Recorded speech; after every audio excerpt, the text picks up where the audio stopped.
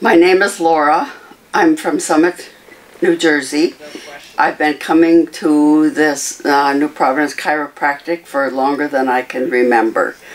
For years and years and years. I came because of cervical pain and limitation in my ability to turn my neck and also thoracic pain. I have been helped immensely, immensely. I'm have no pain. I have a lot of mobility and flexibility in my neck and my thoracic spine.